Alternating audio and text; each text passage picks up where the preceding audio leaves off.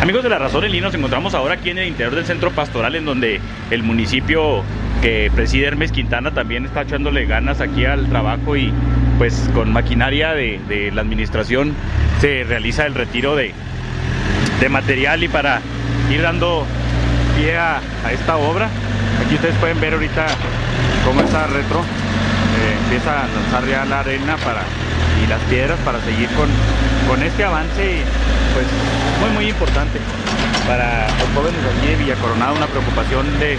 del presidente municipal Hermes Quintana que pues que haya espacios dignos para la juventud y el trabajo pues aquí en el centro pastoral en, en Coronado pues